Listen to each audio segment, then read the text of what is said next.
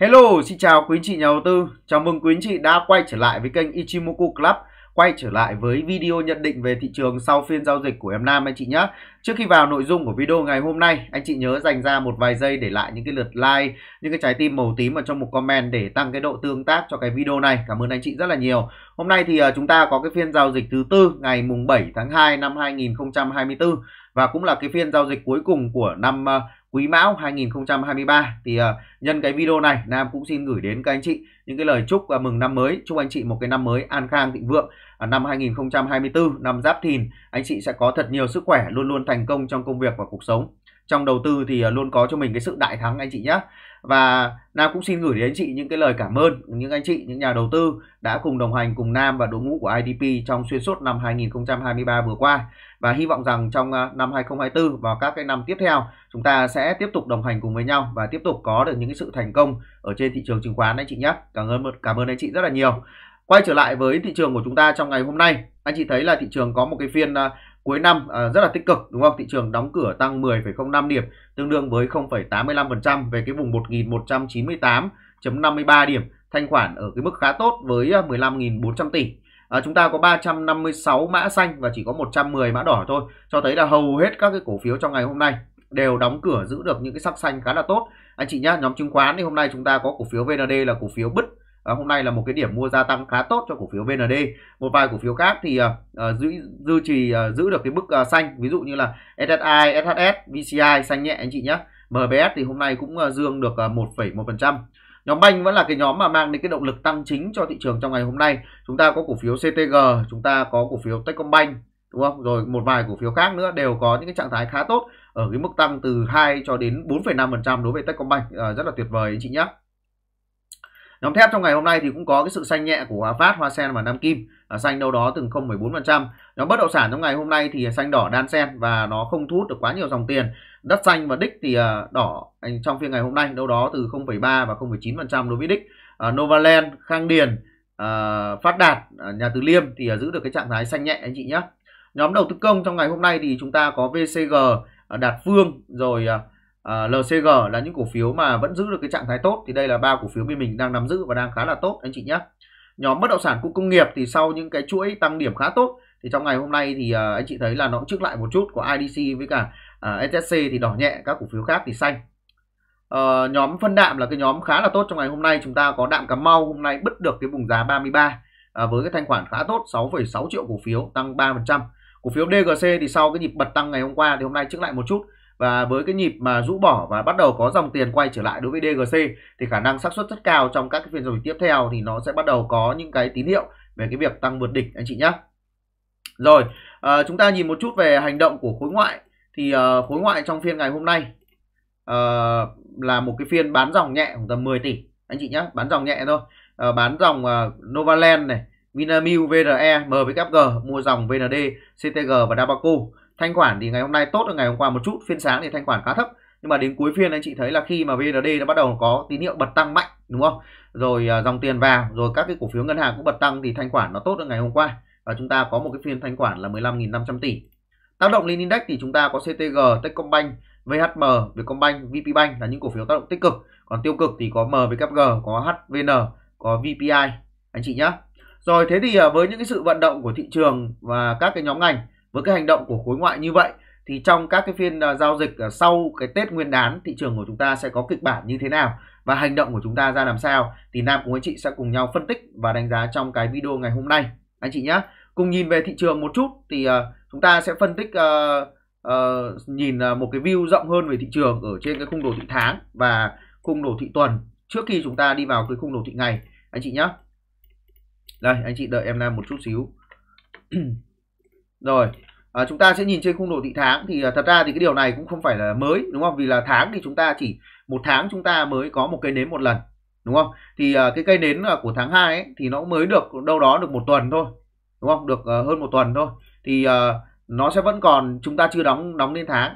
Nhưng mà hiện tại cái trạng thái của VN Index thì tại chị thấy là các cái tháng giao dịch đầu năm ấy thì khung tháng nó vẫn bị một cái mây khá là lớn để đè xuống.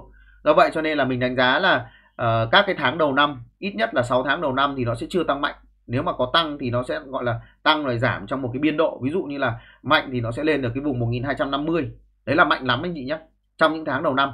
Còn để mà thị trường có cơ hội để bứt phá những cái vùng mà 1250 thì đâu đó chúng ta thấy là vào những cái tháng cuối năm bắt đầu từ tháng 6 trở đi đấy, khi nó đi qua cái vùng eo mây này đó thì nó sẽ có cái cơ hội bật tăng mạnh mẽ hơn.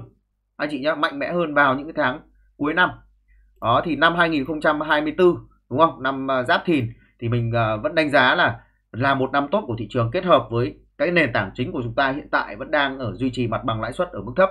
Cái tỷ giá cái lạm phát nó không phải là cái áp lực quá lớn. Và hiện tại thì cái à, sản xuất công nghiệp uh, rồi cái uh, chỉ số về bán lẻ hàng hóa dịch vụ của chúng ta hiện tại đang có dấu hiệu hồi phục trở lại. Lạm phát của cái tháng 1 vừa rồi thì không đáng lo đúng không ạ? Do vậy cho nên là cái nền tảng chính của chúng ta vẫn là cái nền tảng lãi suất thấp và trong năm nay thì trao đổi với chị là để thị trường giảm nó sẽ khó hơn là thị trường tăng. Anh chị nhá mình vẫn đánh giá năm nay là năm tốt thì tất cả những cái cú rung lắc điều chỉnh nếu có thì đều là cơ hội. Và 6 tháng cuối năm sẽ tốt hơn 6 tháng đầu năm. Thì điều này Nam chia sẻ với chị rất rất nhiều lần ở trên video cũng như là trong các cái buổi livestream rồi. Anh chị nhé nhìn về cái đồ thị tuần đúng không? Đồ thị tuần thì anh chị thấy rằng là cái phiên giao dịch uh, ngày hôm nay là ngày mai, ngày kia là chúng ta nghỉ, đúng không? Tức là cái ngày hôm nay cũng là một cái cây đóng đến tuần rồi. Rồi cái tuần giao dịch đầu tiên của năm mới vào ngày 15 tháng 2 và ngày 16 tháng 2 thì cái tuần sau, cái nến tuần của tuần sau ấy, thì chúng ta cũng chỉ có hai phiên thôi. Đúng không? Chúng ta chỉ có hai phiên thôi. Thì do vậy cho nên là hai cái phiên này, anh chị thấy là trên khung đồ thị tuần ấy, là bắt đầu thị trường cũng đã chạm về cái vùng kháng cự tương đối mạnh, cái vùng 1205 cộng trừ quanh đây. Là cái vùng mục tiêu mà mình đã đề ra cho các anh chị về thị trường khi mà thị trường của chúng ta có một cái nhịp phá khách sạn ở đây phá khách sạn ở cái vùng 1137 thì nó sẽ từ từ nó đi lên. Đến cái vùng mục tiêu thì trong quá trình đi lên thì nó có một tuần hai tuần ba tuần điều chỉnh nhưng mà cái xu hướng chính vẫn là một cái xu hướng tăng. Anh chị nhé thì về cái hai cái phiên giao dịch uh, đầu năm mới của năm giáp thìn nhiều khả năng anh chị uh, theo cái uh, lịch sử đã từng xảy ra ấy, thì nó sẽ vẫn có những cái cú kéo xanh lên hưng phấn vào đầu phiên anh chị nhé thì có thể là sẽ kéo xanh lên và chạm luôn về cái vùng kháng cự 1205 thậm chí là qua một chút anh chị. Tuy nhiên là cái vùng này sẽ là cái vùng kháng cự mạnh, đúng không? Thì những cái tháng đầu năm mình có nhắn với anh chị ở trong zoom là anh chị nào mà hiện tại anh chị vẫn ưu tiên nắm giữ. Còn anh chị nào muốn chốt lời một phần thì có thể là để các cái phiên giao dịch đầu năm chốt lời lấy may. Thì khi mà khi thứ nhất là chúng ta cũng là cái chốt lời lấy may. Và cái thứ hai cũng là cái phần anh chị có thể chốt lời khóa lợi một phần lợi nhuận. Khi mà thị trường nó tăng từ bên dưới lên bên trên và bắt đầu chạm về cái vùng kháng cự giao găm rất mạnh ở trên cái khung tuần, anh chị nhé đây là cái vùng kháng cự mạnh. Thì về cái xu hướng chung anh chị, về trung hạn thì chúng ta vẫn kỳ vọng là thị trường nó sẽ phá được cái giao găm này đi lên. Tuy nhiên là ít nhất trong các cái tuần tiếp theo thì góc nhìn của mình là nếu như nó kéo rướn qua anh chị, thì nó sẽ có gặp những cái sự rung lắc rất mạnh ở cái vùng 1205 này. Kể cả nó có dướn lên 1220 nó qua khoảng tầm 10 15 điểm anh chị nhé thì nó vẫn có thể có những cú rung lắc nó test lại là điều bình thường. Do vậy cho nên là ở thời điểm hiện tại anh chị vẫn nắm giữ được nhưng mà các cái phiên giao dịch đầu năm mới đúng không? Nếu mà thị trường nó tăng tiếp tục kéo lên theo hiệu ứng đầu năm thì à, đấy là những cái thời điểm anh chị có thể là hiệu hiện thực hóa một phần lợi nhuận. Anh chị nhé hiện thực hóa một phần lợi nhuận. À, đấy là cái um, thứ nhất là chúng ta thấy là vùng cản thứ hai là cũng là cái phần mà hiện thực hóa để chúng ta gọi là có một chút tâm linh gọi lấy may đầu năm đúng không? Sau đó thì anh mọi người yên tâm là vẫn sẽ có những cái vùng rung lắc để mua lại thôi. Đúng không anh chị? Nhá. Còn uh, thêm một cái góc nhìn nữa. Đấy là cái phiên giao cái phiên giao dịch đầu năm mới ngày 15 tháng 2 cũng là phiên giao dịch đáo hạn phái sinh luôn. Anh chị nhá. Là phiên đáo hạn phái sinh của cái tháng 2 này. Đấy, do vậy cho nên là có thể sau đáo hạn phái sinh đúng không? À, cái cái đáo hạn trong tháng này thì chắc chắn với anh chị là cái đội tạo lập là cầm long không có gì phải bàn cãi cả đúng không? Thì sau đó hạn phái sinh, nếu như thị trường có sự rung lắc thì nó có thể xảy ra sau đó hạn phái sinh vào cái phiên giao dịch thứ sáu vào ngày 16 tháng 2 hoặc là trong một cái tuần sau đấy. Bởi vì cái tuần sau, tuần đầu tiên, đúng không? Tuần đầu tiên là có hai phiên giao dịch thôi. Và bắt đầu từ cái tuần sau nữa là vào ngày 19 trở đi cho đến ngày 23 tháng 2 thì khi đấy chị thấy là ừ, trên cái khung đồ thị tuần là chúng ta sẽ mở ra một cái trạng thái khách sạn. Đúng không chị? Sẽ mở ra một cái khách sạn tuần và có thể sẽ có những cái nhịp mà rung lắc, hút giá xuống. Do vậy cho nên là đoạn này thị trường càng kéo, đúng không? Anh chị vẫn nên ưu tiên chốt một phần cái tỷ trọng anh chị đã cầm ở giai đoạn trước ra. Anh chị nhé thì đấy là cái góc nhìn về thị trường trên khung đồ thị tuần. Thì đấy là cái hành động trong ngắn hạn, đúng không? Trong 1 đến 2 tuần đầu tiên của cái sau cái nhịp lễ thôi. Còn anh chị nào mà gọi là về view, về trung hạn thì góc nhìn của mình ấy là nó đi lên, anh chị nhé nó có điều chỉnh rung lắc đi chăng nữa. Rồi, nó cũng sẽ phá cái vùng 1205 để đi lên. Và cái tham minh để mà thị trường của chúng ta vào những cái cú, gọi là, tăng mạnh mẽ hơn ấy, thì đâu đó nó sẽ là vào giai đoạn nửa cuối năm 2024 nhìn cái khung đồ thị tháng như Nam đã chia sẻ với chị vừa rồi. Anh chị nhá, khung tuần thì trong một vài tuần tới hành động nó sẽ là như vậy. Ok, hai anh chị nhá. Còn trên khung ngày, đúng không? Khung ngày thì hiện tại vẫn đang trong một cái trạng thái rất là tốt và đường giá vẫn đang bám ben trên đi lên thì như Nam đã phân tích với chị trong khá là nhiều phiên trở lại đây và hai kiếm của nó vẫn đang hợp bích và đi lên như này. Anh chị nhé thì với cái xung lực đi lên như này thì trước mắt là thị trường nó sẽ chinh phục 1205 thậm chí là vượt quá luôn lên cái vùng 1220 như Nam có chia sẻ với chị ấy. Đấy, thì với xung lực này hoàn toàn có thể chinh phục cái cái cái những cái mốc đấy. Khi mà anh chị thấy là các kiếm vẫn liên tục trở lên và nếu như nó vẫn còn tiếp tục phá đỉnh anh chị sẽ thấy là hai kiếm nó vẫn tiếp tục phóng lên đấy, đường giá vẫn bám theo Bollinger Band đi lên. Cái dao găm 65 cũng chỉ lên hỗ trợ cho đường giá. Anh chị nhá rất tốt ở trong ngắn hạn. Anh chị nhá thì uh, đấy là một cái điều tích cực. Tiếp theo nữa là cái đường MACD ngày hôm nay nó bắt đầu cắt lên rồi. Nó báo hiệu cho anh chị thấy là những cái tín hiệu về thị trường của chúng ta nó bước vào những cái nhịp tăng mới. Anh chị nhá nhịp tăng mới và mình đang đặt mục tiêu là 1205 là à, khiêm tốn đúng không? Còn xa hơn chúng ta có thể kỳ vọng 1220 cơ. Đấy, trong các cái phiên đầu năm ví dụ là uh, ngay cái phiên đầu năm hoặc là phiên ngày uh, sau đó đúng không? Là chúng ta hoàn toàn có thể kỳ vọng được khi mà nó, mọi thứ đều đang rất là uh, tích cực như thế này. Chúng ta nhìn trên khung đồ thị ngày nhá. Khung đồ thị ngày ở trên uh, các chỉ báo thì chúng ta thấy là về cái Aron ấy thì cái đường màu xanh đúng không? Nó vẫn đang ở phía trên nó vẫn đang là trạng thái tăng. MACD thì bắt đầu cắt lên rồi. Đó, và cái đường uh, Ờ, ờ, đường đường đường ADX đúng không? Về cái chỉ báo xu hướng rất mạnh mẽ ADX hiện tại đang ở vùng 25.5 là đã bắt đầu hình thành xu hướng tốt và DI cộng ở trên DI trừ. Nếu như nó tiếp tục nó bám ben đi lên anh chị nhé thì cái đường ADX này nó vẫn từ từ nó cong lên. Còn ờ, DI cộng DI trừ nó sẽ bắt đầu nó chạy chạy kiểu nó chạy nó tản ra như thế này. Anh chị nhé đó thì khi đấy chúng ta sẽ thấy là thị trường của chúng ta nó sẽ có một cái trạng thái rất tốt một cái xu hướng tốt ở giai đoạn hiện tại. Do vậy cho nên anh chị cứ nắm giữ bình thường. Còn cái việc anh chị chốt lời ấy, chốt lời ở trên khung tuần đấy, mọi người chốt lời sau đó mọi người sẽ căn những cái nhịp và nó rung lắc trở lại để mua thôi. Đấy, ví dụ như là thị trường lên 1205 1220 đúng không? Anh chị chốt lời một phần nó rung lắc trở lại mua gọi là uh, chốt lời để lấy may thôi. Chứ còn về cái xu hướng thì hiện tại thì mình vẫn đánh giá là xu hướng tốt.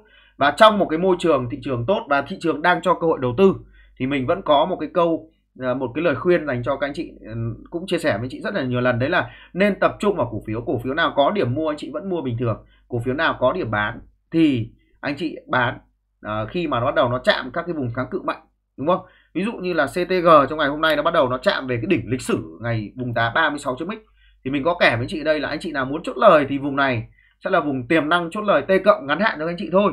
Còn xu hướng thì nó vẫn tăng. Anh chị nhá còn cổ phiếu nào có điểm mua anh chị vẫn mua bình thường. Ví dụ như VND ngày hôm nay có điểm mua bên mình vẫn lấy gia tăng bình thường ở cái vùng giá 22.8 22.7 anh chị nhé tức là vẫn gia tăng một cách bình thường. Vì bên mình đã nắm giữ cổ phiếu VND từ trước rồi. Thì hôm nay với anh chị là một điểm gia tăng rất đẹp của VND thậm chí anh chị mua mới cũng được anh chị nhé thì đấy là đối với cả cổ phiếu VND à, tức là anh chị nên tập trung vào các cái cổ phiếu trên thị trường. Cổ phiếu có điểm mua anh chị vẫn mua bình thường. Và nó đang có sự phân hóa kể cả trong cùng nhóm ngành. Ví dụ như SHS hôm qua nó báo bán đúng không? Hôm qua nó báo bán ở đây khi thủng qua 17.9 thì mình báo anh chị phải xử lý. Hôm nay anh chị nào mà đang cầm thì lên 17.8 anh chị cũng phải xử lý đúng không anh chị? Thì đấy là cái mà chúng ta thể hiện một cái sự chủ động trong giao dịch và không nên nhìn quá nhiều mặt điểm số. Cổ phiếu có điểm mua anh chị mua cổ phiếu mà nó bao bán, anh chị bán. Cổ phiếu mà nó chạm kháng cự mà nó bắt đầu nó có được những cái phần lợi nhuận mà anh chị thấy đủ rồi, anh chị có thể là hiện thực hóa. Anh chị nhá, tập trung vào cổ phiếu thay vì tập trung quá nhiều vào thị trường giai đoạn hiện tại. Thị trường cứ để cho nó trong một xu hướng tăng, cứ để cho nó tăng, cứ để cho nó rung lắc thoải mái, cứ tập trung vào cổ phiếu anh chị nhé. thế thì với những cái suy nghĩ như vậy thì chúng ta sẽ nhìn nhận về các cái cổ phiếu như thế nào. Thì nam cùng anh chị sẽ cùng nhau đi sang cái phần số 3 chúng ta sẽ cùng đánh giá về các cái nhóm ngành xem là đâu là cổ phiếu nào có điểm mua cổ phiếu nào là cổ phiếu mà uh, chạm những cái vùng kháng cự anh chị có thể ưu tiên chốt lời.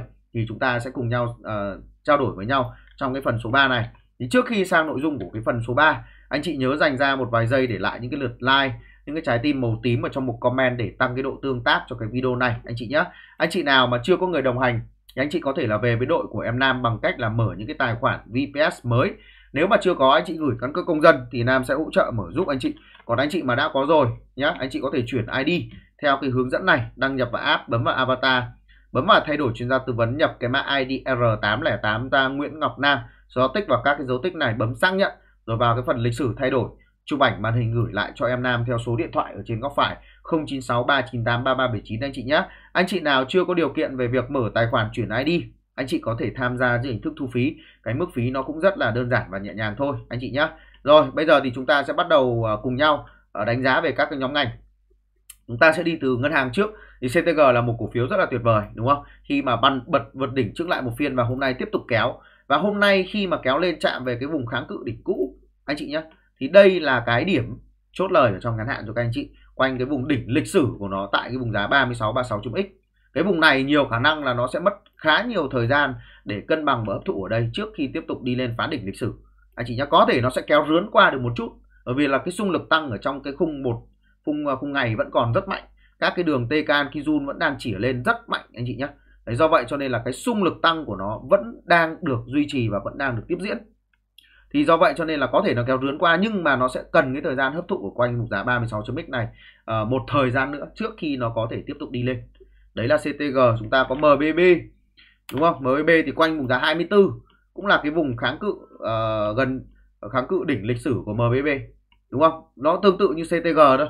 Đó anh chị nhá. Thì cái vùng này nó sẽ là cái vùng mà chốt lời trong ngắn hạn cho những anh chị nào cầm cổ phiếu MBB quanh vùng giá 24 khi nó đang gần về đến vùng đỉnh lịch sử rồi anh chị nhá thì cái xung lực tăng của nó hai kiếm vẫn đang chỉ lên bốn đường nó vẫn đang chỉ lên như thế này đúng không? Thì đây là một cái trạng thái mà anh chị uh, lưu ý là uh, nó vẫn còn cái xung lực tăng trong ít nhất là một tuần tới nữa đúng không? 3 đến 5 phiên tới thì nếu như nó kéo lên được vùng giá 24 thì đấy là vùng chốt. Còn mua ở đây thì tạm thời với anh chị là nó chưa có điểm mua. Anh chị nhá cổ phiếu ACB đúng không? Cũng lực tăng cũng rất là tốt. Đấy cổ phiếu này thì uh, hiện tại nó cũng chưa có điểm mua ở đây. Hiện tại đã lịch đã vượt đỉnh lịch sử rồi anh chị vẫn nắm giữ được bình thường. Anh chị nào muốn mua cổ phiếu này ấy, thì càng gần 27 càng tốt. Nó vẫn sẽ có những điểm mua nền số 2 thôi. À, nền số 2 ở đây rồi nhưng mà nó có thể tạo thêm một cái nền ngắn nó kéo dần đường 10 20 lên đúng không? Thì quanh vùng giá 27.5 trở xuống là anh chị mua được đối với ACB thì đây là những cái cổ phiếu à, hàng đầu. Bit hôm nay cũng bắt đầu đã có những cái nhịp kéo lên. Đấy, cái vùng đỉnh ngắn hạn của nó sẽ là quanh vùng giá 50 thì hôm trước Nam cũng có chia sẻ với chị là về đây thì nó sẽ có nhịp bật lên T cộng đúng không? Thì bit này ACB này MBB này, CTG này là những cái cổ phiếu top 1 của nhóm chứng khoán, à nhóm bất động sản, à nhóm banh sorry mọi người. À, Vietcombank nữa, đúng không? Vietcombank cũng khá là ổn ở nhịp này. Hiện tại cũng đang bóp ben khá là chặt anh chị nhé. Đấy là những cổ phiếu loại 1, chúng ta có cổ phiếu loại 2 là những cổ phiếu đi sau, là những cổ phiếu mà đi sau nó còn những điểm mua như là cổ phiếu Tiên Phong Banh quanh cái vùng giá 18 đúng không? Quanh vùng giá 18 cũng đã pick cho anh chị trong một hai phiên trở lại đây rồi. Ngay cả cái phiên này khi nó giật ngược trở lại Nam cũng chia sẻ với anh chị là anh chị mua được có ngay phiên ngày hôm qua thậm chí là phiên ngày hôm nay những quanh những vùng giá tham chiếu anh chị vẫn mua được bình thường. Thì đây là những cái cổ phiếu hạng 2 đi sau. Nhưng mà không có nghĩa là nó sẽ tăng ít hơn. Anh chị thấy là cái cái vùng về cái biên về cái vùng đỉnh lịch sử của nó vẫn còn rất xa đúng không? Thì rồi nó cũng sẽ có những cái nhịp tăng ở mạnh ở phía sau thôi. Anh chị nhá mấy, mấy cổ phiếu này mấy cổ phiếu đi sau và nó cũng sẽ tăng mình có thể chưa khẳng định với chị là nó cũng sẽ tăng theo sóng của nhóm ngân hàng và sóng này của nhóm ngân hàng mình trao đổi với chị nó sẽ là sóng dài. Nó không thể nó không dừng lại ở trong 1 đến à, 2 tuần 1 đến 2 tháng thậm chí là kéo dài 4 tháng 6 tháng 8 tháng là bình thường. Anh chị nhé nhóm banh nhịp này sẽ là sóng dài anh chị có hàng một người cứ kiên nhẫn nắm giữ chắc chắn anh chị sẽ có lợi nhuận ở nhóm banh. Các cổ phiếu đi sau như tiên phong banh như msb đã pick cho anh chị trong một vài phiên trở đây đều tốt này như stb đúng không? Như uh, Ờ, uh, VIB đều là những cổ phiếu mà vẫn còn những cái điểm mua và nó vẫn đang ở một cái form tích lũy đáy rất lớn anh chị nhé những cái form nền tảng lớn như này đi lên anh chị thấy là nó sẽ chạy rất ghê đúng không? Nó sẽ chạy rất tốt và mình vẫn đánh giá là những cái vùng này vẫn là những cái vùng mua rất đẹp của các cổ phiếu ngân hàng anh chị nhé rồi thì đấy là VIB hay là thậm chí là như SHD anh chị nhé nhịp này nó đang dính phải những cái uh, thông tin khá là tiêu cực. Tuy nhiên là cái vùng giá 11.5 là cái vùng mà SHB nó sẽ cân bằng và nó sẽ đi lên được anh chị nhé. Nó sẽ đi lên được. Đây là một cái phiên mà rũ được rất nhiều hàng và anh chị thấy là cái ở đây có một bên người ta mua đúng không? Một bên người ta mua và người ta không bán xả ra trong các phiên này. Và nó đang tìm được cái sự cân bằng ở đây. Thì nó sẽ giống như các cái cổ phiếu như STB vào cái giai đoạn năm 2023 ở đây. Anh chị thấy là rơi xuống với vôn lớn rũ hàng cân bằng tích lũy và từ từ bò lên thì SHB nó cũng sẽ như vậy anh chị nhé nó nhiều khả năng sẽ như vậy và nó cân bằng ở đây thêm khoảng tầm 3 phiên nữa thôi ba bốn phiên nữa thôi. Thì bắt đầu nó sẽ từ từ nó bò theo cái đám mây nào đi lên. Ok không ạ? Và đi lên nhé nhiều khả năng nó sẽ vượt đỉnh. Thì đây vẫn là những cổ phiếu còn những điểm mua. Anh chị hoàn toàn có thể tham gia được anh chị nhé rồi thì đấy là cổ phiếu uh, SHB uh, tiếp theo chúng ta sẽ đánh giá thêm về nhóm uh, chứng khoán đúng không? Chúng ta sẽ nhìn về nhóm chứng khoán. Ờ, các cái cổ phiếu uh, nhóm chứng khoán ngày hôm nay chúng ta có VND là cổ phiếu tăng rất tốt và bên mình có lấy mở mua gia tăng thêm VND khi nó vượt qua vùng giá 22.7 quanh vùng giá 22.7 22.8 thì bên mình mua trước cổ phiếu này ở những cái vùng giá 21 x ở dưới đây rồi. Thì hôm nay là một cái nhịp bật rất đẹp của cổ phiếu dòng tiền vào. Và cái nhịp này nhiều khả năng VND nó sẽ kéo được về vùng giá 24 24.x anh chị nhá đây sẽ là cái vùng mà nhiều khả năng nó sẽ chinh phục được lại cái vùng đỉnh cũ. Thì thậm chí là trong các cái phiên giao dịch tiếp theo kể cả đầu năm anh chị nhé anh chị nào muốn mua chỉ cần có giá quanh tham chiều giá đỏ anh chị vẫn lấy được bình thường đúng không? Ngược lại như vậy một vài cổ phiếu khác như là SSI thì bắt đầu nó về đến cái vùng đỉnh lịch sử. À do đây à, về lấy cái vùng đỉnh tại thời điểm 1250 sorry anh chị nhé. Thì về vùng này thì Nam cũng đã view sẵn với anh chị là đây là một cái nhịp mà hồi phục của cổ phiếu sóng hồi phục đúng không? Nó đã về đến cái vùng đỉnh tại cái thời điểm 1250 rồi anh chị nhé. Thì về đây thông thường thì đây là một cái nền tảng tích lũy lớn của cổ phiếu. Thì thông thường sau đấy nó sẽ có những cú điều chỉnh, rũ trở lại trước khi nó vào sóng chính. Anh chị hay nói là, anh chị hay nghe thì em nói là sóng hồi phục này, sóng chính. Thì đây là sóng hồi phục. Còn sóng chính là như nào? Như này mới là sóng chính. Là nó tăng một mạch từ cái vùng giá 19 và lên tới tận vùng giá 36 đâu đó 80 phần trăm mới gọi là sóng chính. Thì có thể anh chị nó sẽ giống như đoạn này. Khi mà nó có những cái thời điểm nó tăng được về đỉnh cũ, đúng không? Nó tăng được về cái vùng đỉnh cũ, sau đó nó rũ lại một nhịp nó rũ phía trên rồi sau đó nó mới đi lên vào sóng chính. Anh chị nhá thì trong quá khứ nó đã từng xảy ra khá nhiều ví dụ ở đây cũng thế. Anh chị thấy này để ra mở rộng ra một chút để anh chị nhìn đúng không? À, đây là sóng hồi phục này. Sóng hồi phục này về lại đỉnh cũ này rũ một nhịp này cân bằng này đi lên thì đây mới là cái thời điểm vào sóng chính. Và sóng chính nó chạy anh chị nhìn nó chạy. Anh chị nhìn nó chạy nhá. Nó chạy một mạch từ cái vùng này lên tuốt cái vùng uh, từ cái vùng giá 22 mà lên tuốt cái vùng giá 39 đúng không? Nó tại 80 phần trăm thì đấy là sóng chính. Thì thời điểm hiện tại đang là sóng hồi phục, đúng không? Thì nó đã bắt đầu chạm về cái vùng đỉnh cũ rồi. Thì đến cái vùng này anh chị nhé sẽ là cái vùng mà kể cả nó có vượt qua một chút, thì cũng chưa phải là cái điểm mua đâu anh chị nhé vùng này sẽ là cái vùng áp lực bán khá lớn, đúng không? Có thể là nó sẽ có những cái nhịp nó kéo rướn lên, thì con này mà rướn lên được 36 36 chấm x anh chị, kể cả 36 chấm x đi chăng nữa, thì đấy sẽ là những cái điểm anh chị chốt lời trong ngắn hạn và phải đợi những cái thời điểm nó rũ ngược trở lại, đúng không? Và cái nhịp sau mới là cái nhịp vào sóng chính và Nam vẫn view với anh chị đâu đó nó sẽ là nhanh thì tháng 3 mà chậm ấy thì là quý 2 nhóm chứng khoán nó sẽ vào sóng. Đúng không? VND nhịp này thì cũng là cái nhịp mà uh, sóng uh, nhịp hồi phục về đỉnh cũ. VCI cũng thế. Anh chị nhé VCI cũng hồi phục về đỉnh cũ. Đúng không? Có SHS là cái cổ phiếu mà nó hơi ngược lại một chút. Khi mà nó tích lũy ở đây không tăng được và nó xảy ra pha rũ nền. Hôm nay nó cũng hồi phục nhưng mà cái áp lực bán ở vùng 17.8 là khá lớn nhiều khả năng nó sẽ vẫn cần cái thời gian nó cân bằng lại ở cái vùng giá 17.x ở đây. Anh chị nhé thì sau khi cân bằng trở lại và đi lên ở phía sau, thì nhiều khả năng SHS nó sẽ được tăng bù vào phía sau, anh chị nhé nó rũ bỏ như này không có nghĩa là sau đấy nó sẽ tăng yếu đâu.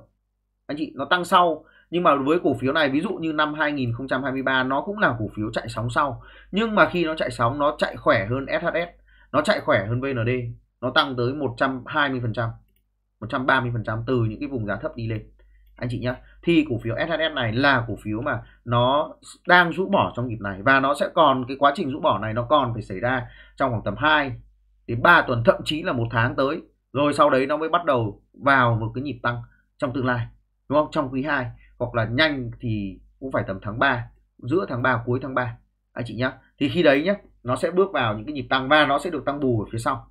Còn cái nhịp này thì mình không đánh giá là SHS sẽ gãy sẽ đi sâu sẽ rủi ro anh chị. Mình đánh giá nhịp này là nhịp rũ bỏ để đi lên. Anh chị nhé đối cổ phiếu SHS thì cái cái view về cổ phiếu này Nam cũng chia sẻ với anh chị rất nhiều lần ở trên uh, trên livestream cũng như là trong các video rồi. Chắc là mọi người cũng nghe đi nghe lại rất nhiều lần rồi đúng không ạ? Thì view tại thời điểm hiện tại của mình chưa có gì thay đổi với cổ phiếu này. Anh chị nhé thì những anh chị nào là cổ đông của SHS đúng không? Thì có thể nhịp này anh chị chưa vui. Nhưng mà anh chị nếu mà anh chị giữ được một cái view đủ tốt và có những cái sự linh hoạt trong giao dịch. Ví dụ thủng 17.9 anh chị hạ bớt rồi nó cân bằng lại ở 17 17x anh chị mua. Thì sau này anh chị nhé cổ phiếu này khi nó tăng trở lại nhiều khả năng ấy nó sẽ được tăng bù.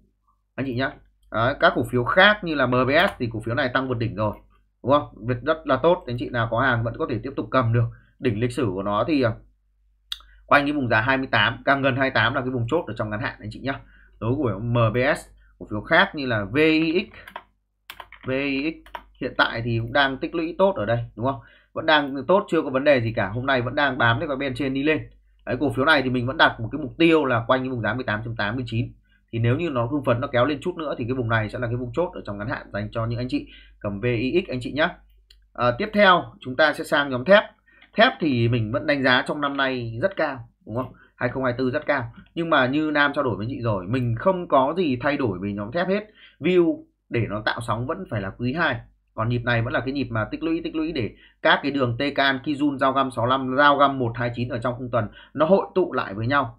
Trước khi nó bước vào cái sóng tăng mạnh mẽ trong cái giai đoạn mà từ quý 2 trở đi thậm chí là cái sóng tăng có thể quay trở lại đối với Hòa Phát vào năm uh, sóng chu kỳ của Hòa Phát nó sẽ quay trở lại vào 2020 2022 giống như uh, năm 2020 22 hay là giống như 18 16 16 18 thì cái chu kỳ đấy có thể nó sẽ lặp lại vào 24 26 2024 2026 anh chị nhé đấy thì anh chị nào có hàng mà có view chung và dài hạn đối với cả Hòa Phát anh chị vẫn cầm. Bình thường. Ở đây quanh cái vùng giá dưới dưới 18 à, dưới 28 là anh chị có thể gom được. Hoa sen cũng tương tự như vậy không có gì khác cả. View mình hoàn toàn như nhau.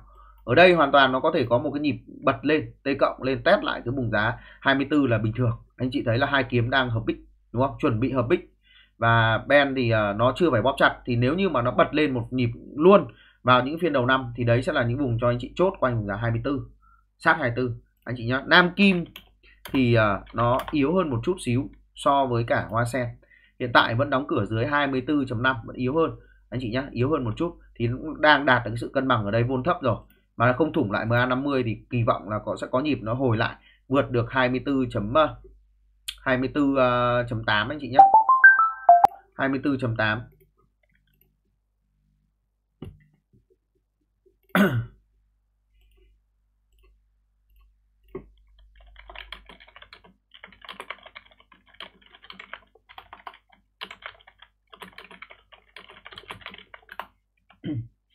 rồi à, đấy là cổ phiếu à, à cổ phiếu Nam Kim. À, chúng ta nhìn chút ở trên khung đồ thị H1 anh chị nhé. Đấy cũng bắt đầu đang có các cái tín hiệu cân bằng bóp ben ở trong khung H1 rồi. À, thì nếu như mà nó tiếp tục cân bằng được trên cái đường MA50 này đấy thì nó sẽ có những cái nhịp bật lại đúng không? Bật lại được. À, kỳ vọng là như vậy anh chị nhé và trong trường hợp mà nó tiếp tục thủng 24 ấy, thì à, anh chị có thể chờ lại ở quanh vùng giá 23 chấm x đối với Nam Kim. Còn cái view của nhóm thép thì vẫn đâu đó vẫn là quý 2 anh chị nhé giống như Hoa Sen Hòa Phát thôi. Ok, nhóm thép thì à, bên mình cũng vẫn đang nắm với một cái tỷ trọng vừa phải anh chị nhé. Tiếp theo chúng ta nhìn về nhóm bất động sản. Thì có lẽ là cái nhóm này là cái nhóm mà à, các các cổ đông của nhóm bất động sản hiện tại thì Ờ, cũng không quá vui khi mà thị trường tăng đúng không? Ngân hàng tăng, chứng khoán tăng, các một vài cổ phiếu khác tăng nhưng mà bất động sản thì không tăng. Chúng ta chỉ có con PDR là cái cổ phiếu mà có trạng thái tốt đúng không? Mua mình có khuyến nghị anh chị trên livestream là mua vượt vùng giá 29 là mua vượt vượt đỉnh là mua gia tăng được thì hiện tại trạng thái vẫn tốt anh chị nhé anh chị vẫn thể tiếp tục tiếp tục nắm giữ để hướng về cái mục tiêu 32 tiếp theo chúng ta có cổ phiếu đất xanh đúng không hiện tại là đang trong cái quá trình mà anh chị cảm thấy sẽ rất là mệt mỏi. Nhưng mà cái quá trình vùng này đang là cái vùng hỗ trợ rất tốt của cổ phiếu đất xanh ở trong kể cả khung tuần và khung ngày. Thì đây sẽ là những cái thời điểm nhé những cái thời điểm anh chị có thể mua gom cổ phiếu để đón những cái sóng của nhóm bất động sản trong thời gian sắp tới.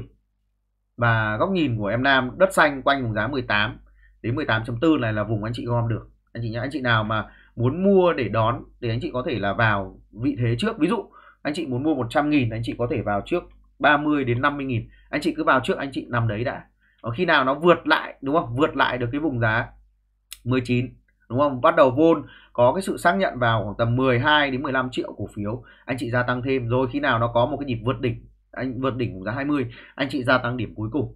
Anh chị nhá, thì đấy là cái cách để anh chị giải ngân và đón sóng đối với cổ phiếu đất xanh ở giai đoạn hiện tại. Đang đi nền thôi anh chị nhá, đang đi nền thôi. Nếu như nó có xuyên thủng 18 nó có rũ đi chăng nữa, đúng không? Thì cái vùng giá 17.8 cũng là cái vùng cân bằng ở trong khung tuần rồi. Tóm lại cái vùng quanh 18 cộng trừ này là cái vùng gom của cổ phiếu đất xanh. Anh chị nhé anh chị có thể, những cái nhà đầu tư chủ động, người ta sẽ gom ở vùng này trước, đúng không? Gom trước một phần nằm đó. Sau đó thì tiếp tục quan sát khi nào dòng tiền nó gia tăng trở lại thì vào thêm. Khi nào nó vượt đỉnh, anh chị vào thêm tiếp và thậm chí sử dụng cả margin cũng được. Anh chị nhé DIG hôm nay cũng hơi yếu một chút, cổ phiếu này mà nó thủng lại 28 thì nhiều khả năng nó sẽ có một cái nhịp rũ về lại 26 cái vùng hỗ trợ phía dưới ở đây. Anh chị nào cầm cổ phiếu DG thì chú ý vùng 27 giúp em Nam nhé. Nếu mà thủng 27 anh chị hạ bớt 1 phần 2 ra và canh mua lại ở 26 nếu như nó xảy ra một cái nhịp rũ như vậy. Nói chung là bất động sản bây giờ đang là cổ phiếu rất yếu, nhóm cổ phiếu rất yếu. Nhưng mà xét về tổng thể thì nó lại đang là cái nhóm cổ phiếu có cái mức định giá rất là hấp dẫn, đúng không? Ở cái vùng giá rất là thấp thì anh chị hoàn toàn có thể là chú ý được đối với các cổ phiếu uh, bất động sản anh chị nhé Đấy, để hiện tại nó đang là cái giai đoạn mà nó cũng đang đang đang đang uh, ở cái vùng trũng đúng không? Vùng trũng. Thì anh chị có thể chú ý được. Còn khi nào nó bước vào sóng ấy mình đảm bảo với chị là những anh chị mà không mua ở vùng này đúng không? Không gom ở vùng này kiểu gì đến lúc mà nó vượt đỉnh nó ở tít ở phía trên này rồi thì lại bắt đầu hỏi. Đấy, bắt đầu hỏi. Giống như là cái giai đoạn mà năm 2023 khi mà mình có tư vấn mình có nói với chị rất là nhiều lần là những nhà đầu tư chủ động người ta sẽ gom ở đây. Đấy, người ta sẽ gom ở đây đúng không? Nhưng mà nhiều khi là ở đây thì không chú ý đâu. Nhưng mà một ừ, thời gian sau bắt đầu nó kéo lên cái vùng này khoảng một hai tháng sau nó kéo lên vùng cao rồi thì rất dễ là đu vào những cây này sau đó dính nhịp chỉnh với đây thì lại cắt lỗ ra. Đó là lên trên đây thấy nó tạo nền mua trên này rồi dính một cú chỉnh của thị trường thì đôi khi là vẫn bị kẹp hàng. Anh chị nhé thì do vậy cho nên là hiện tại đất xanh ờ, và một vài cổ phiếu bất động sản thì nó đang ở vùng trũng đúng không? Anh chị nào mà muốn mua ấy, thì đây vẫn là cổ phiếu mà anh chị có thể chú ý được anh chị nhé rồi chúng ta có cổ phiếu à, à, uh, HDC thì cũng đang ở cái vùng uh, uh, vẫn đang khá là yếu ở đây vẫn khá khá yếu hiện tại đang quay trở lại test các cái vùng đáy đáy 1, đáy 2, đáy 3 đúng không? Thì nếu như mà nó test đáy 3 vùng 30 mà không thủng thì chúng ta còn thể kỳ vọng một cái nhịp hồi phục được anh chị nhé kỳ vọng thôi. À, để chúng ta kỳ vọng còn hiện tại nó cũng đang ở cái vùng uh, kênh tăng ở trong trung hạn còn nếu mà nó thủng tiếp 30 ấy, thì nó sẽ rất xấu anh chị nhé đấy, nó sẽ giống như sell bị gãy cái kênh tăng ở trong chung và dài hạn đây này. Đấy, hiện tại chị thấy là vẫn đang mốt 21 đi xuống, rất là mệt mỏi. Đúng không? Khá là mệt mỏi đối với cổ phiếu sell anh chị nhá, mình cũng có cảnh báo anh chị là không nên mua cổ phiếu này trong khoảng tầm chắc phải cả tháng nay rồi. Đúng không ạ? Cả tháng nay rồi. Nhá, thì đấy là sell anh chị rồi chúng ta sẽ sang các cái nhóm cổ phiếu khác nữa. Thì uh, trước khi sang nhóm khác anh chị nhớ dành ra một vài giây để lại những cái lượt like những cái trái tim màu tím ở trong một comment để tăng cái độ tương tác cho cái video này. Cảm ơn anh chị rất là nhiều. Anh chị chưa có người đồng hành có thể là về với đội của em Nam bằng cách là mở những cái tài khoản mới hoặc là chuyển ID anh chị nhé nếu mà chưa có tài khoản mở à, chưa chưa có tài khoản VPS anh chị gửi căn cước công dân thì Nam sẽ hỗ trợ mở giúp anh chị những cái tài khoản mới số đẹp để anh chị giao dịch cho nó may mắn. Anh chị đã có tài khoản rồi anh chị có thể chuyển ID theo hướng dẫn này đăng nhập vào app bấm vào avatar bấm vào thay đổi chuyên gia tư vấn nhập cái mã ID R808 ra Nguyễn Ngọc Nam.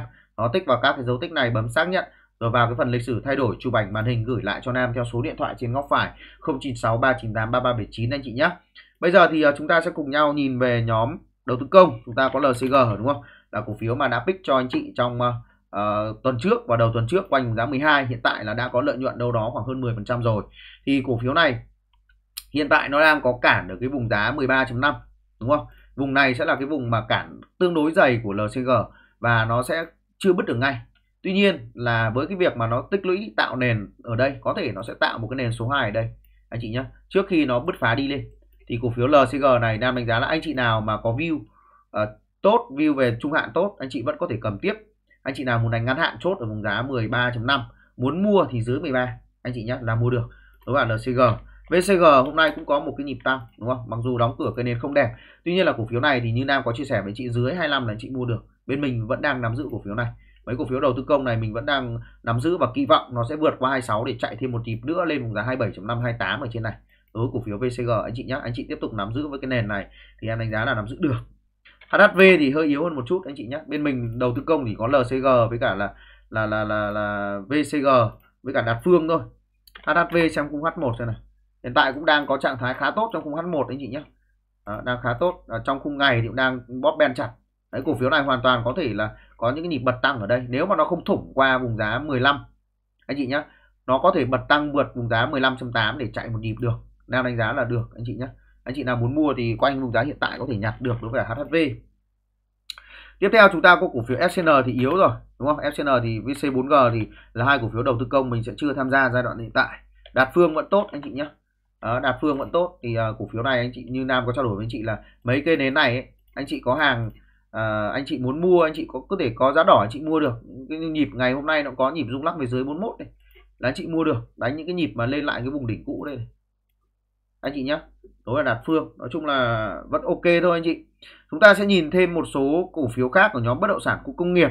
Thì chúng ta có các cổ phiếu loại một như là SSC hiện tại vẫn đang trong xu hướng tốt. Anh chị nhá nhưng mà vùng này bắt đầu nó sẽ chững lại để từ từ nó kéo cái đường Kijun lên và kéo cái đường M20 lên. Anh chị nhá. Nó, ví dụ đường M20 nó sẽ kéo lên như thế này. Đúng không? Thì sau đấy nó sẽ có những cái cú mà nó có thể là tăng này, điều chỉnh này giảm rung lắc rung lắc. Bắt đầu nó chạm, nó có những cú mà nó chạm về M20 rồi, sau đó nó sẽ bật. Nó sẽ giống như các cổ phiếu như là CTG này anh chị này. Đúng không? CTG này. Đó, đây này. Kéo tăng này, điều chỉnh này, rung lắc, tích lũy này, điều chỉnh về M20 này, sau đó bật hay là MBB này.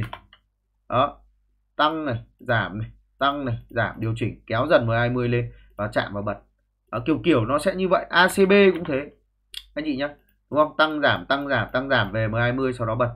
Đó thì đấy là cái chia sẻ về các cái cổ phiếu mà nó đã quá những điểm mua thì anh chị phải đợi những cái thời điểm cho cái đường M20 nó kéo lên nó tìm lại một cái sự cân bằng rồi nó mới có thể bật tiếp. Thì bây giờ anh chị có hàng anh chị tiếp tục nắm. Vì đây vẫn là cổ phiếu mà gần như khỏe nhất trên thị trường và khỏe nhất của nhóm bất động sản khu công nghiệp đang dẫn sóng. Anh chị nhé anh chị vẫn có thể tiếp tục nắm giữ được bên mình nhé mua cổ phiếu SSC từ những cái điểm này. Đúng anh chị? Đến thời điểm hiện tại bây giờ đã có lợi nhuận 40 41 phần trăm. Chưa kể cái phần thành thêm anh nhìn nhé IDC cũng thế. IDC thì lợi nhuận ít hơn nhưng mà vẫn là một cái xu hướng tăng. Nhưng từ những cái điểm mua hiện tại cũng đã có lợi nhuận 23 phần trăm. Những cái điểm mua bổ sung ở đây cũng đã pick cho anh chị ở trong room mua thêm rồi. Khá là tốt anh chị nhé rồi chúng ta có cổ phiếu GVR là cổ phiếu cũng rất là tích cực đúng không? Đấy, liên tục pick cho các anh chị. Nhưng mà cổ phiếu này thì hiện tại nó đang chạm cản một chút. Anh chị nào muốn chốt lời T cộng thì ờ, nó có những cái nhịp mà hưng phấn lên được vùng giá sát 26 anh chị chốt lời. Còn quanh vùng này anh chị nào mà nắm giữ theo trend thì vẫn nắm giữ được bình thường. Vì xu hướng như này là xu hướng phá cản tuần anh chị nhé trong một cái xu hướng tốt đúng không? À, kháng cự sinh ra để phá anh chị nhé thì trước mắt nó gặp kháng cự nó sẽ mất cái thời gian hấp thụ thôi.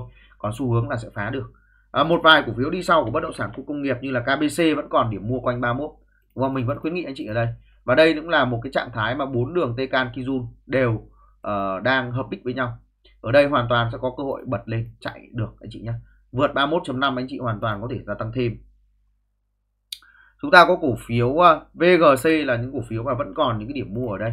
Đúng không? Sau một phiên bật uh, vượt qua kênh giảm giá sau đó có 1 2 3 4 phiên điều chỉnh tích lũy rồi thì những cái cổ phiếu như này nó bật lên là điều hết sức bình thường trong các cái phiên rồi tiếp theo. Anh chị nhé đấy là VGC những nhóm bất động sản khu công nghiệp vẫn còn những cái điểm mua. Tiếp theo chúng ta sẽ đi về một vài các cái cổ phiếu khác như là đạm cà mau. Anh chị thấy là như nam có trao đổi với chị là sau một nhịp rũ về biên dưới về đây thì không bán nữa, đúng không? Khi mà anh chị thấy là bắt đầu có dòng tiền rõ nét trở lại và dòng tiền đang rất là rõ nét, thì sau đấy anh chị thấy nó bứt vượt đỉnh, nó chạy. Thì mình nói với anh chị là xác suất vượt đỉnh là rất cao và nhịp này nhiều khả năng là DCM nó sẽ kéo được về cái vùng giá 35.8 đi 36 trong cái nhịp này. Anh chị nhé anh chị có hàng tiếp tục nắm giữ. Cổ phiếu đạt uh, cổ phiếu ờ, đạm phú mỹ cũng đang khá là tốt đúng không? Mục tiêu sẽ là vùng giá 35 35.x nhé tiếp theo chúng ta có DGC đúng không? Hôm nay là một cây shooting star nhưng mà không có vấn đề gì cả dòng tiền vào khá tốt anh chị nhé cổ phiếu này anh chị nào muốn mua thì cứ quanh cái vùng giá 95.x là anh chị mua được mua thêm được đối với DGC à, ờ, anh chị nhé thì anh chị nào muốn mua DGC hoàn toàn có thể gia tăng quanh cái vùng giá 95.x ở đây. Hiện tại là bắt đầu có nhịp rút bỏ và quay trở lại, bắt đầu có dòng tiền thì nó có thể trứng lại. Và sau đó nó sẽ tiếp tục kéo trong cái phiên giao dịch đầu năm. Anh chị nhé cái xác suất để nó vượt lại vùng giá 96 là có, mà xác suất khá là cao, đúng không? Tiếp theo chúng ta có DG World. Vẫn là cổ phiếu mà vẫn còn những cái điểm mua quanh vùng giá 55 56 và chúng ta hoàn toàn có thể kỳ vọng những cái nhịp mà nó vượt 57 thì nó chạy lên quanh vùng giá 60 6x anh chị nhé tiếp theo có TNG vẫn đang khá là ổn ở đây đúng không? Chưa vấn đề gì anh chị cầm tiếp. Anh chị nhé vẫn trên Tcan Kijun đúng không? Đang tích lũy ở đây hoàn toàn có thể là tích lũy một vài phiên rồi có nhịp bật lên là bình thường. Tiếp theo chúng ta có cổ phiếu PVT ổn anh chị nhé đấy nó về biên dưới thì nó hồi lên biên trên thôi như nam trao đổi với chị rồi. Biên trên này biên dưới này về biên dưới hồi lên biên trên anh chị nhé và cái nhịp hồi này ấy, chúng ta có thể kỳ vọng rằng nó sẽ phá được đỉnh nếu như mà nó bắt đầu có dòng tiền tham gia nhưng hiện tại thì mình chưa thấy có dòng tiền. Chúng ta phải có những cái phiên mà nó đánh bứt lên với dòng tiền tham gia mạnh nhé thì đấy sẽ là một phiên mà nhiều khả năng nó sẽ vượt đỉnh. À, tiếp theo chúng ta có cổ phiếu ờ, à, uh, uh, EGC đúng không? Là cổ phiếu mà cũng big ở trong nhóm bất động sản khu công nghiệp bổ sung cho các anh chị. Cổ phiếu này thì vẫn đang ổn đấy anh chị nhé. Mục tiêu thì sẽ hướng tới cái vùng giá 16 quanh vùng này. Vẫn đang giao dịch trên Tcan và Kizun ok anh chị ha thì đấy là những cái nhận định của em Nam về thị trường cũng như là các cái nhóm ngành để đưa ra các kịch bản và hành động trong cái tuần giao dịch uh, sau lễ.